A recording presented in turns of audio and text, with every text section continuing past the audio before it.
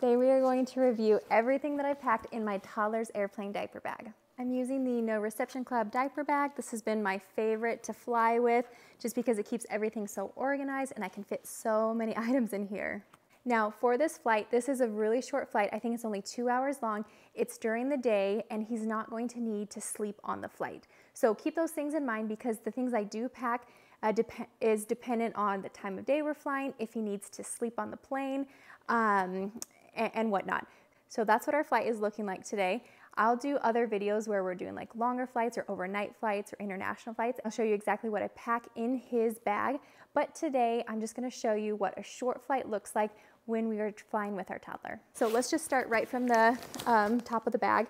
This is the parent pouch and inside here I've got a lot of snacks for him. So I've got some Ritz crackers, I've got a yogurt pouch, a granola bar, I've got some electrolyte packets that I'll give to him once we get there just because flying can dehydrate you a little bit uh, more quickly than typical.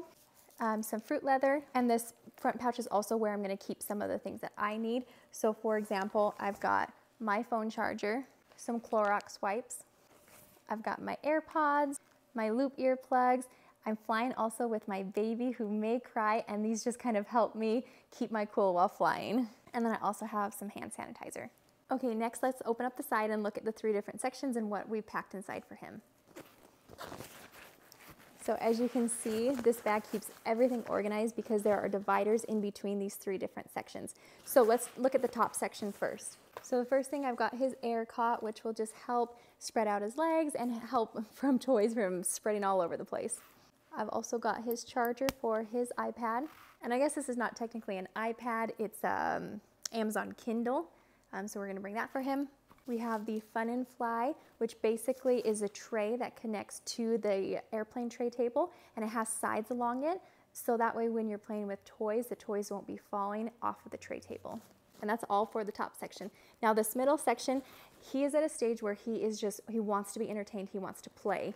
Um, and since I'm not planning on him taking a nap on this flight, um, bringing toys, travel toys are really important for him. I have another video all about toddler travel toys. I also have a huge um, section on my Amazon storefront of tried and tested toys for toddlers that are great to fly with, so you can check that out as well. So I've just put everything into a packing cube just so it's easy to take out on the flight and, um, and keep everything organized in the bag as well. So I'm just gonna show you some of the toys that I have in this packing cube. I've got these toddler headphones. Inside this bag, I have some magnetic um, blocks. I have his Yoto player with some cards.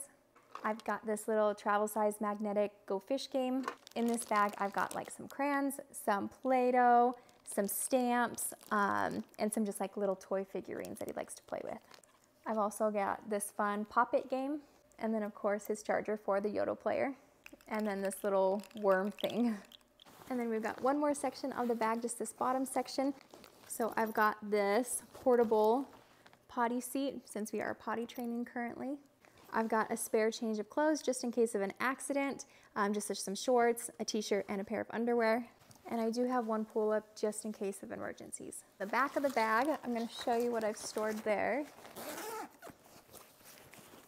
So I've got some more um, toys for him. This is just a pad with some reusable stickers inside and then just some blank pieces of paper that we can color and work with our stamps on. And that's it. This, since this is such a short flight, it's just two hours, it's during the day. This is a really easy bag to pack. I hope this helps. I do have a packing list if you want. It's free, it's downloadable on my site.